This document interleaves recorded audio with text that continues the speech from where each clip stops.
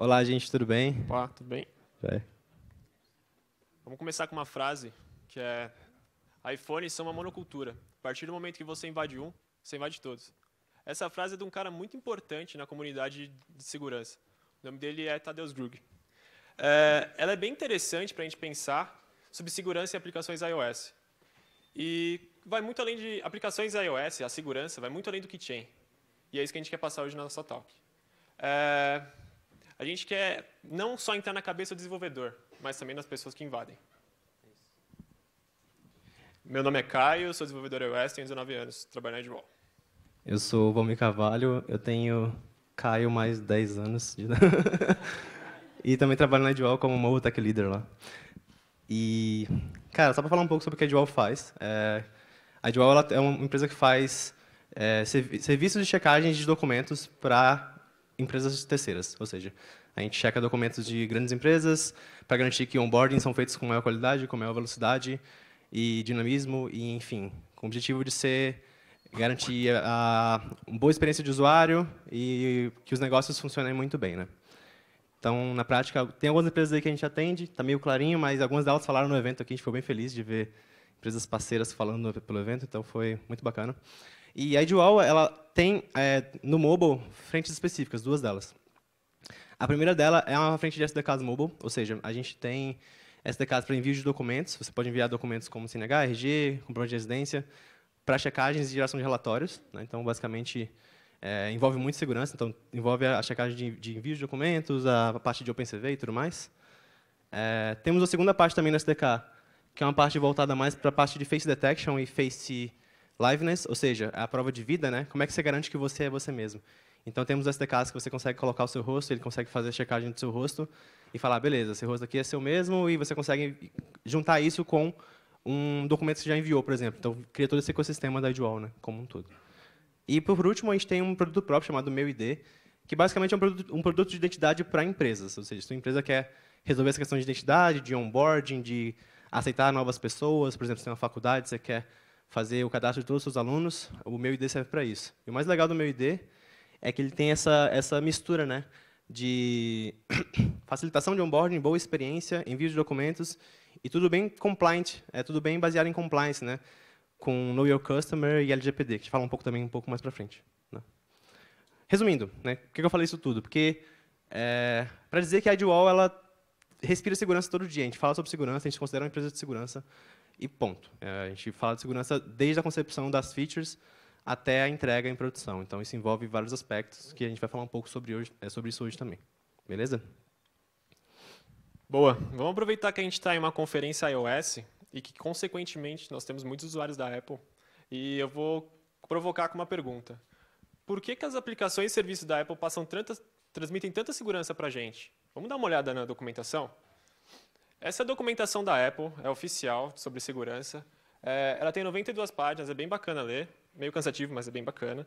É, e o que, que ela diz sobre segurança? Né? Ela fala de uma forma geral sobre segurança nos seus sistemas, passa algumas boas práticas sobre isso e fala em alguma, algum, algumas coisas exclusivas da plataforma. Um exemplo bem claro é o Keychain. É, outras coisas que também, outras, segura, outras, outras técnicas que, de segurança que estão bem consolidadas no mercado. É, só passando um pouquinho do que tem nessa documentação, né? Para quem não, quem não chegou a ler esse documento, é um documento oficial, tá, da Apple.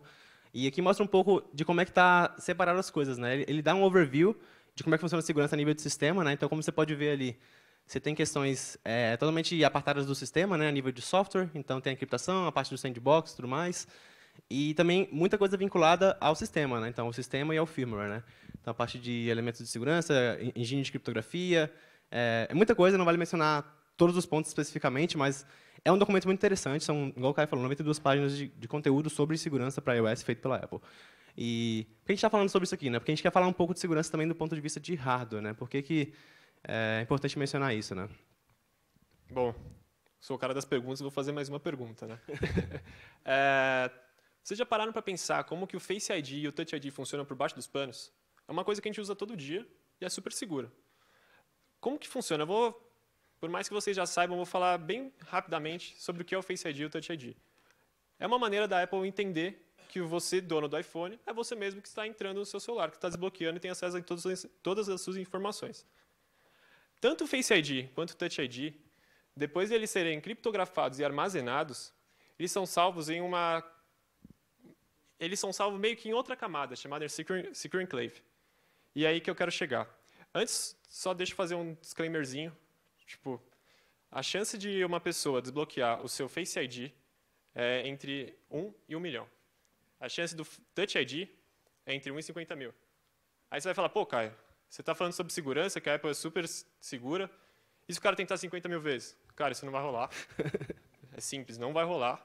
Por conta que você errando cinco vezes, a Apple já vai, e aquele PIN que você setou na, quando você está fazendo o setup do seu celular, ele vai ser chamado e você não consegue entrar no seu aplicativo, no seu, desbloquear o seu celular sem que você digite ele. Beleza. Falei sobre o Secure Enclave. O que, que é? E ele é a grande sacada, porque que é super seguro. Secure Enclave é um coprocessador que ele está a partir do iPhone 5S. E faz muito sentido, porque o iPhone 5S ele foi o, a, a, primeira, a primeira versão do Touch ID. Então, seria muito fácil para a Apple pegar e só salvar no Keychain e já era, né? Mas não. O coprocessador, por conta da sua independência, o iOS não consegue saber o que está passando por ele. Então, como que funciona? Os dados são encriptografados, são criptografados, são armazenados e são guardados no Secure Enclave. O iOS, ele não sabe o que está rolando. Ele só sabe que tem coisa guardada lá, mas não sabe o que, que está guardado. É, e o Caio mencionou uma parada muito importante, que é a questão de como é que essa comunicação funciona, né? Como é que eu sei que o meu hardware tem um, mecanismo ali, uma, uma, parada que é um chip, de fato, que armazena as minhas chaves, mas como é que a comunicação funciona disso com o keychain, por exemplo, né? E aí a gente vai falar um pouco sobre o keychain agora. Já falaram bastante aqui, né? O pessoal da iBanks comentou um pouco, e eu acho que a gente vai meio que chovendo molhado em algum aspecto, mas é importante a gente reforçar, é, falar do keychain e ir um pouco além, né? Explicar um pouco da importância de outras práticas, tá? Esse, esse diagrama também está nas docs da Apple. Estou botando os links lá em cima para quem quiser olhar depois. É, é, bem legal perceber como é que as coisas são bem isoladas, né? Se você olhar, por exemplo, toda essa parte da, da aplicação, ela é totalmente apartada da parte de, de, de, do salvamento, né? De salvar as chaves de fato. Então, você tem toda a parte de, de aplicativo falando com a camada de segurança. Essa camada de segurança, por si só, ela fala com o keychain. E o keychain não está não, não tá no mesmo contexto do Secure Enclave. Isso que é uma coisa que o cara comentou que é importante mencionar. É, é legal você perceber ali que tem toda uma parte do Secure Enclave que lida com a biometria, né? seja a biometria facial ou de, ou de dedo. Né? Então, assim, como o Caio comentou, esse negócio ser face, face ID ou Touch ID não importa tanto a nível de desenvolvimento, né? acho que importa bastante só o que a gente consegue pegar naquele key management, key management ali, né? pelo keychain. E, assim, é, é, um diagrama bem interessante que explica bastante sobre, dá um pouco de contexto melhor sobre por que, a gente usa as coisas que a gente usa no dia a dia. Né? E aí, só passar aquele overview bem básico do que falaram do, do que tinha aqui, vou explicar um pouco de como é que usa, mas acho que já está claro para todo mundo, né? acho que é uma prática muito comum hoje, se você quer falar de segurança. Então, vou dar um overview bem rapidinho aqui sobre o que foi falado já. Né? Aqui parece esquisito, mas são as coisas que estão internamente dentro do, dentro do uso do keychain. Né? Então, aqui, aqueles métodos que comentaram já, né, de quando você quer adicionar um, um elemento no keychain, você precisa criar basicamente uma, um, dicionário. Né? Basicamente é ótimo. é, você precisa criar um dicionário e você tem aquele sec item add ali, que é um, um método que a própria Apple já fornece. É, outra forma também que você pode fazer para buscar alguma coisa, né? buscar um item, você, você monta esse dicionário também faz essa busca usando esse sec item copy matching, né? que basicamente você consegue passar também um dicionário e ter uma resposta de erro ali. E operações básicas né, também, como update e delete também de informação. Bem simples, assim, não é, é até comentar, né, que é esquisito, né? A gente quando a gente cria um objeto de, de, de keychain, né, a gente tem aquele é, o keychain item lá, né? Então a gente não, não, lida com essa parte toda que, que eu comentei, né? A gente lida só com uma camada muito mais abstraída, muito mais arrumadinha.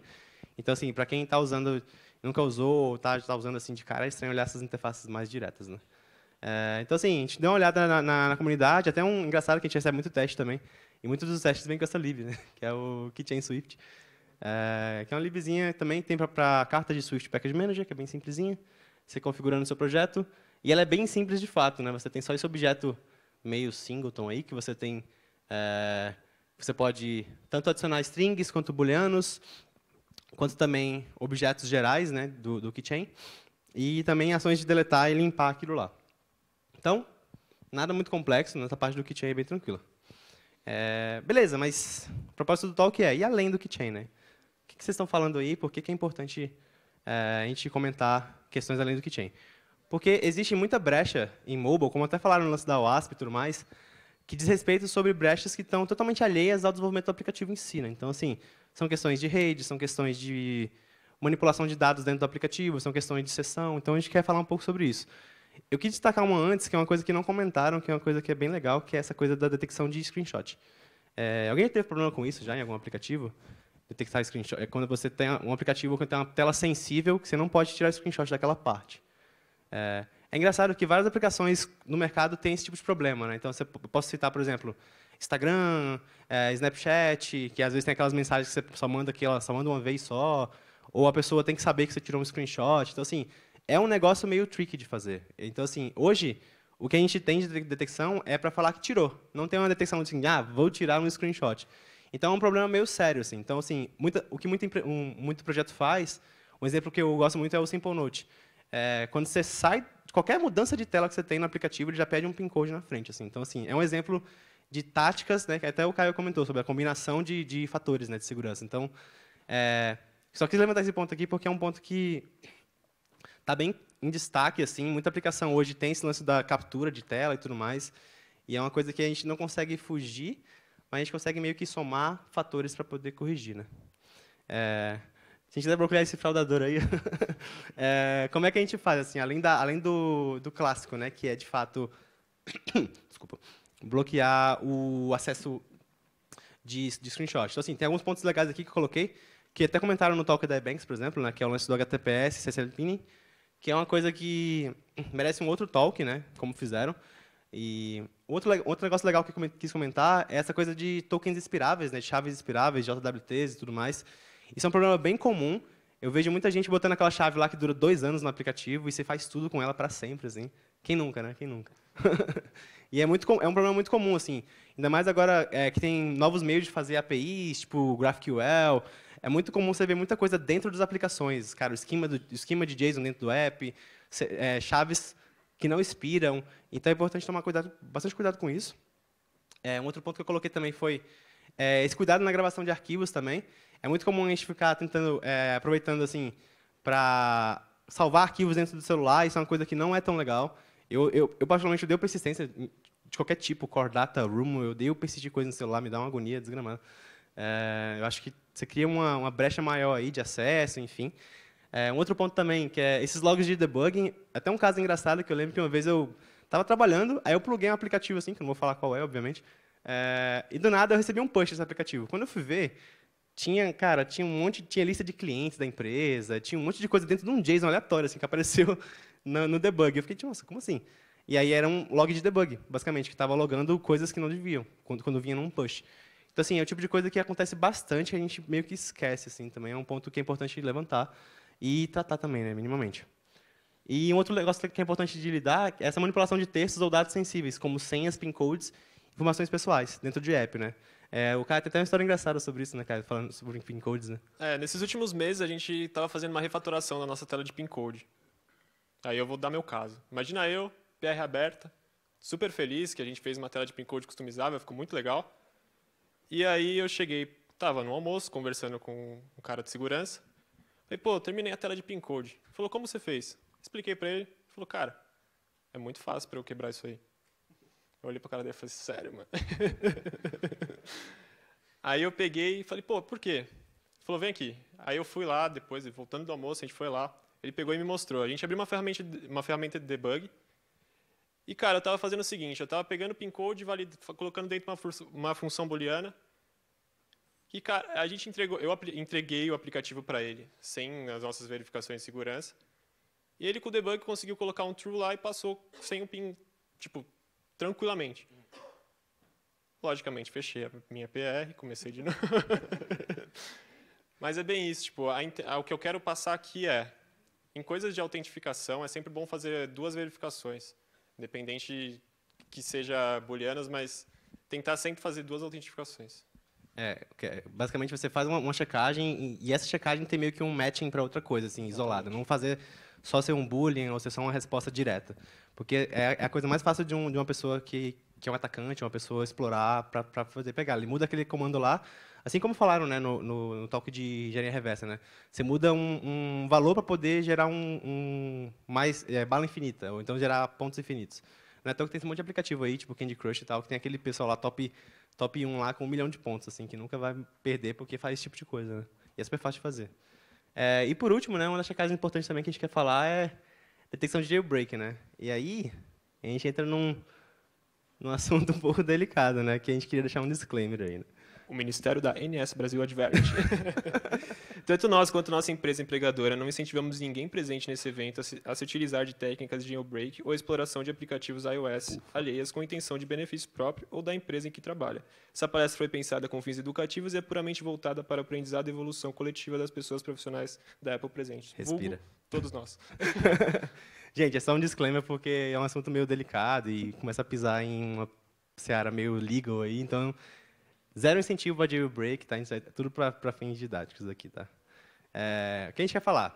Jailbreak hoje é uma cultura que está mais fraca do que era antes, né? Mas ainda assim é uma coisa que foi muito relevante lá tempo atrás, né? Tipo, quem é que não lembra dessa telinha aí, né? Grande Cid aí.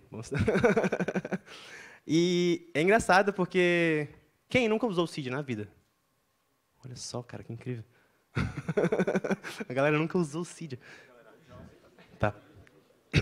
É, então, assim, o Cydia, para quem não conhecia, era basicamente uma, uma, Apple Store para, uma App Store paralela.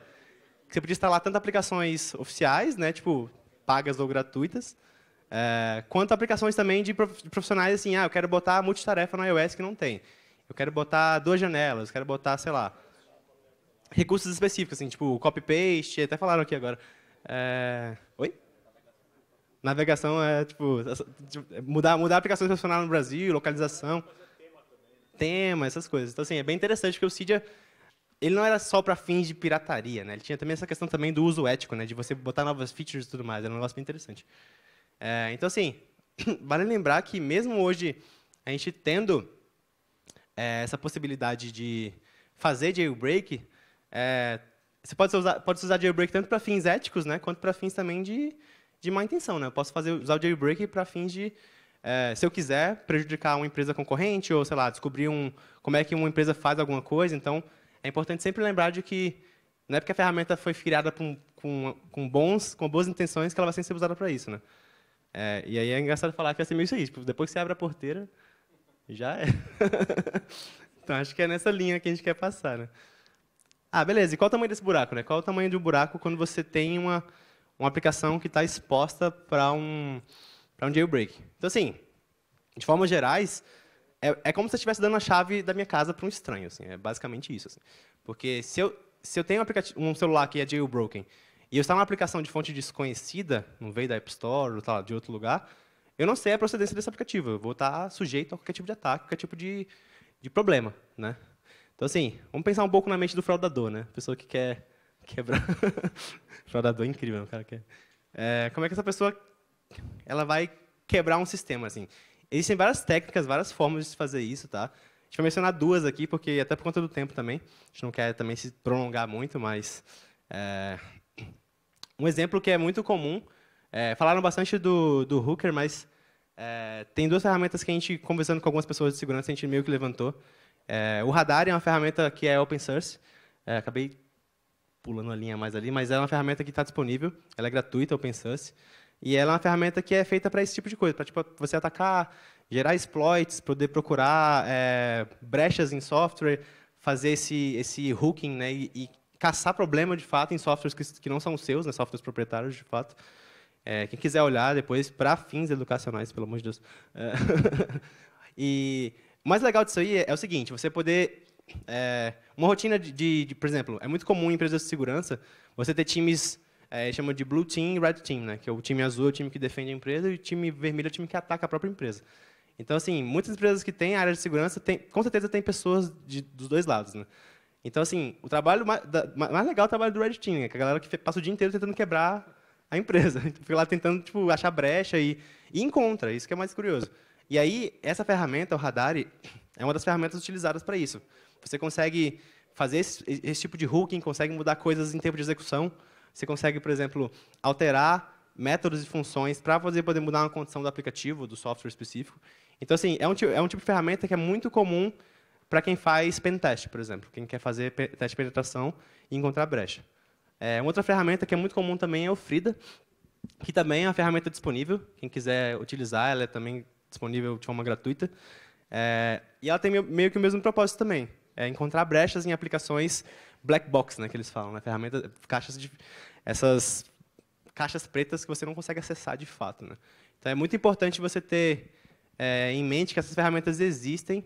Existem, falaram da WASP aqui, né? A WASP tem challenges bem interessantes de quebra de aplicativo, até pode botar o link depois no, no, no final, que é lá, ah, eles dão um aplicativo e falam assim, ah, vamos tentar desbloquear esse aplicativo, então manda lá o desafio, e as pessoas conseguem, com Frida, com, com Radar e com outras ferramentas, misturando também com Charles Proxy e tudo mais. Então é bem, é bem, tipo assim, é bem real assim, a, o, o, o tamanho dos buracos, sabe? É, mas é isso, assim, tipo, eu tô com medo. Como é que eu, como é que eu faço, né, para proteger minha aplicação é, de, um, de dispositivo jailbreak? Já que jailbreak é a porteira aberta, como é que eu vou fazer para garantir que minha aplicação está tá segura? É, felizmente, barra infelizmente, tem soluções, mas as soluções não são tão baratas, tá? É, a gente fez uma pesquisa no mercado brasileiro, assim, conversando com as pessoas, enfim, é, profissionais de algumas empresas, a gente descobriu tem essas duas são as principais, mas tem muitas outras também disponíveis no mercado. Essas duas são as mais conhecidas. É, a ArcSun tem, tem, é uma empresa proprietária, a Guard Square. A Guard Square, para quem não conhece a Guard Square, ela que faz o ProGuard do Android. E, inclusive, ela também faz uma ferramenta de ofuscação de código para iOS também, chama EXGuard. E para Android também, que é o DexGuard. Então, são as ferramentas pagas. Né? O ProGuard é a versão gratuita, que tem só aquela parte de ofuscação de código mais simples, né? que basicamente não serve para nada. É, que é muito, muito, muito simplesinha, assim. Você consegue tipo, contorná-la muito fácil. E aí é legal você falar que, tipo, essas ferramentas ela tem várias, vários recursos legais, né, como o code hardening, para você não conseguir quebrar um código muito fácil. É, essa parte de ofuscação de código sensível, proteção contra hooking, né, aquela coisa que eu falei que o Frida e o outro fazem, e o lance de proteção contra debugging e jailbreak. Então, assim, se eu uso essas ferramentas, eu consigo me proteger daquelas outras que eu falei, do Frida, do Radar e do Hooker essas outras ferramentas. Só que tem um custo alto. É, essas ferramentas custam milhares de dólares, puramente por serem ferramentas bem... É, elas salvam negócios, vamos dizer assim. Né? Então, assim, é, felizmente barra infelizmente, nem todo, todas as empresas conseguem fazer esse tipo de coisa. Mas, por exemplo, uma fintech poderia bancar uma, uma ferramenta dessa de forma fácil. Assim. É, mas, assim, mais importante do que usar uma ferramenta específica é a gente lembrar que, tipo, cara, não, tudo bem a gente não ter uma ferramenta dessa, mas lembrar daquelas dicas todas lá para trás que eu falei, e lembrar que você pode utilizar várias combinações de soluções para se proteger. Então, não é porque você tem uma aplicação que é facilmente acessável, é, acessível né, com jailbreak que você vai ter uma aplicação furada. Você pode ter vários mecanismos, é, como falaram, né, você colocar chaves num CI. É uma coisa que eu já vi, que várias soluções legais que a galera faz, que é mover toda essa parte de checagens e coisas para um, um hipermedia. Assim, então, você só o back-end sabe as fontes da, do, dos caminhos, das coisas, então você não fica com nenhuma espécie de rota dentro do app. Várias empresas fazem isso, então rotas para acesso de app, rotas para features. Combinando certas features, você consegue esse tipo de coisa. Né? É, e um ponto legal de falar assim também é que essas coisas meio que evitam brechas de segurança graves. Né? Acho que o Caio vai falar um pouco sobre o que, essas brechas podem causar, de fato. Né? Boa. Vamos imaginar um cenário. Você está com seu aplicativo na loja, ele tem alguns dados pessoais e você chegou um certo dia de manhã e descobriu que você foi invadido.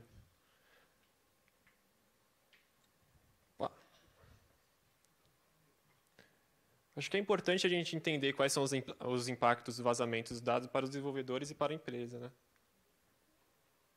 Beleza, vamos começar. Alguns dos exemplos de vazamento de dados são, podem acontecer tipo, desde chaves sensíveis, tanto de API e SDK, informações particulares de usuários, é, problemas legais de integridade física, jurídica e social de usuários, e problemas ligados à LGPD. A LGPD é a Lei Geral de Proteção de Dados.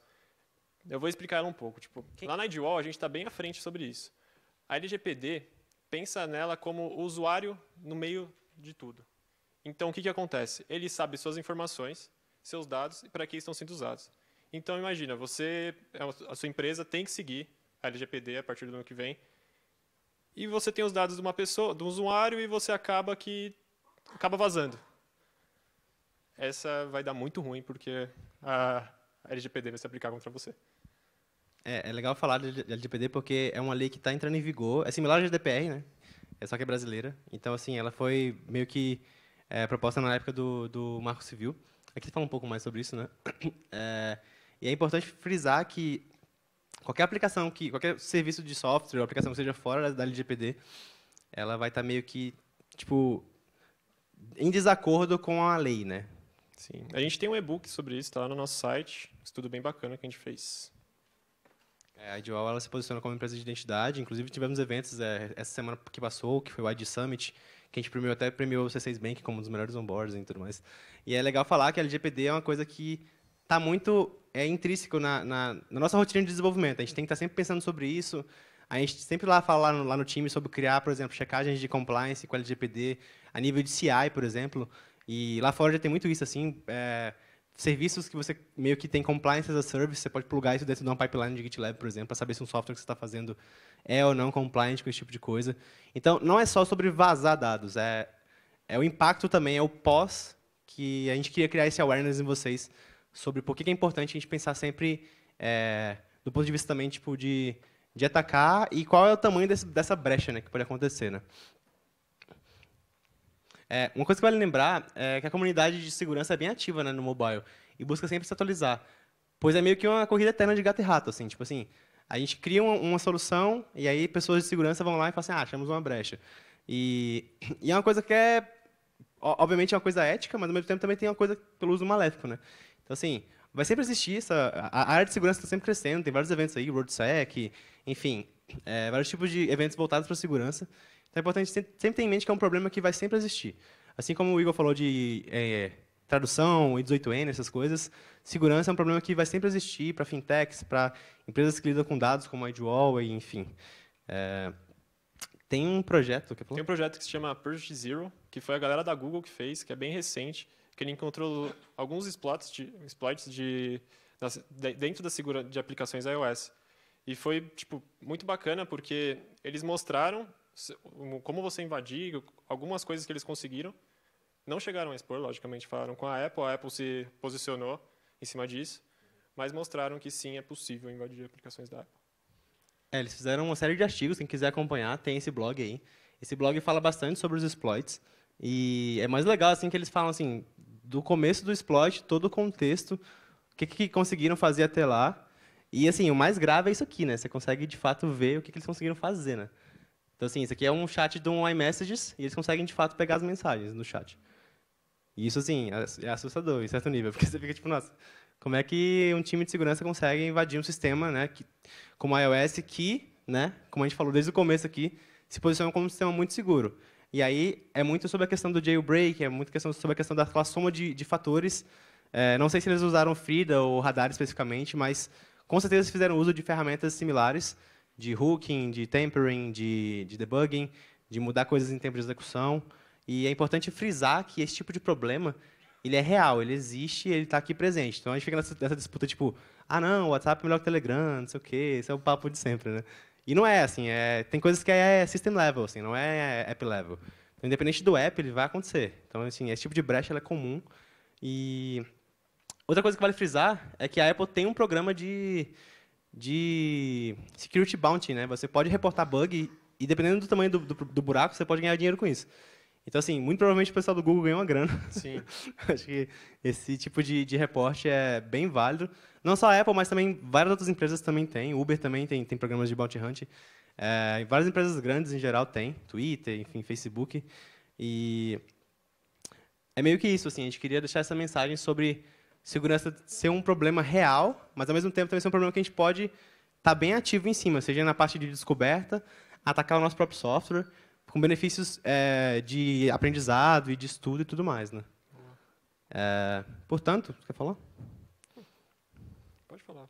É, essa parte, é, a gente queria deixar uma mensagem né, final, basicamente, que é essa. Né? Tipo, independente do que o futuro nos reserva, em termos de novos métodos, novos é, exploits e tudo mais, é importante que nós, como profissionais da iOS, saibamos também invadir nossos próprios sistemas, né? Com o objetivo de aprender não só a defender melhor de potenciais ataques, mas também a diagnosticar e tratar potenciais brechas de segurança de forma eficiente. Então, assim, a mensagem que a gente queria deixar como, como um time né, mobile que pensa em segurança é essa, assim. Não adianta nada você fazer lá e falar assim, putz, mas acharam um hack aí, o que eu vou fazer? Não, não é assim. Você pode. Não é só na parte do desenvolvimento que você faz a segurança. O pensamento de segurança tem que ser antes do desenvolvimento. Na parte que você está fazendo o grooming técnico. É, o pessoal da iBanks falou um negócio que é bem legal, né? Criar a cultura de segurança, uma coisa que é uma rotina. Você não pode pensar uma feature sem pensar nos buracos que ela tem. Você não pode conceber uma feature sem pensar o quão você pode expor sua empresa, é, sei lá, às vezes até ponto de fechar, assim. É, e é meio que isso, gente. A gente queria agradecer. Espero que vocês tenham gostado do talk. É, muito obrigado, de verdade. É... Só queria deixar mais uma mensagem importante aqui, que é, cara, isso aqui é uma forma de a gente dar de volta para a comunidade, de alguma forma. É, muito obrigado ao evento pela, pela oportunidade de estar participando aqui. E acho que o Caio queria falar uma mensagem também. Queria agradecer pela oportunidade. É a minha primeira talk que eu estou dando, então, valeu. É... Valeu, pessoal. E... Da vida, né? Da vida, da vida. Da vida. É, só, só dois pontos importantes que eu queria mencionar. A gente está com vagas lá. Pra dar aquela variada. Rapidão, um segundo. Não só sobre vagas, mas também sobre a cultura da empresa. Também temos um, repositório de vagas, mas tem um repositório também de, de cultura, né, sobre tech em geral. E só uma última mensagem que eu acho que é uma mensagem meio política, que é precisamos contratar profissionais júniores e plenos. Isso é muito importante, porque a gente só quer contratar sênior e a gente não contrata júnior. Lá na Dual a gente tem profissionais, acho que metade do time é júnior pleno, e a gente tem muito orgulho disso, porque a gente está formando pessoas do mercado. E acho que a gente queria ver mais disso acontecendo no, no, no mercado. É isso, gente. Obrigado. Valeu.